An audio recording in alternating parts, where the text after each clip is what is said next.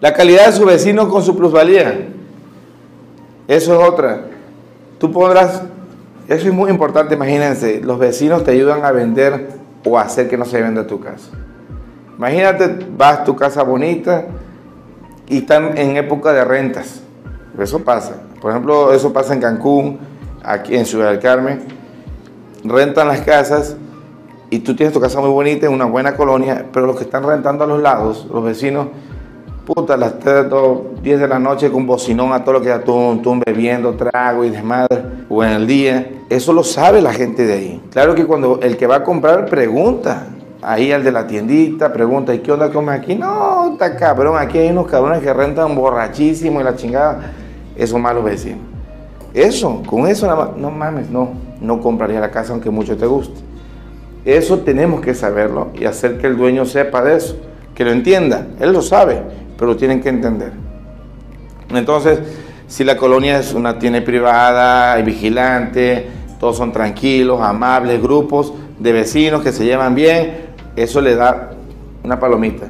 Pero si no tenemos cositas de esas, eso le va quitando mérito para poder venderse. Y el tercero, ¿qué dice el tercero, Karina?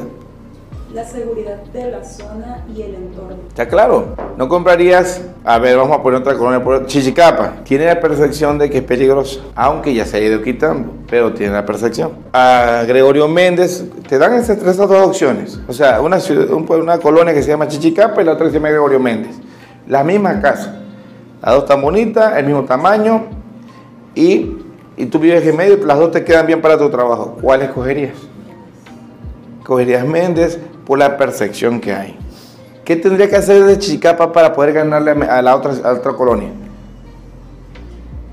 Pues ese, o sea, ya la fama que tiene, o sea, Sí, pero el dueño de la casa de Chichicapa, ¿qué tendría que hacer? bajar precio. Exacto. Entonces, eso tú lo tienes que explicar al dueño. Ve viejo, tú compites con unas casas igualitas que están acá, en tal colonia, en tal colonia, en tal colonia. Esas tienen el mismo precio y la chingada. Pero tu colonia tiene una percepción de la chingada. Para que le ganemos a eso, tenemos que bajarle un poco el precio. ¿Entiendes?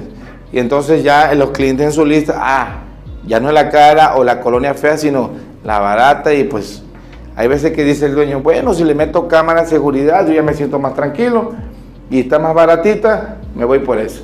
Entonces eso el dueño lo tiene que entender.